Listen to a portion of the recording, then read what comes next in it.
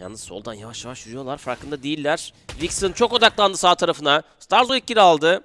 Uzlara kimse göremedi henüz. İkinci kill de Bonkolt'tan geliyor. Postbrand işleri biraz zor.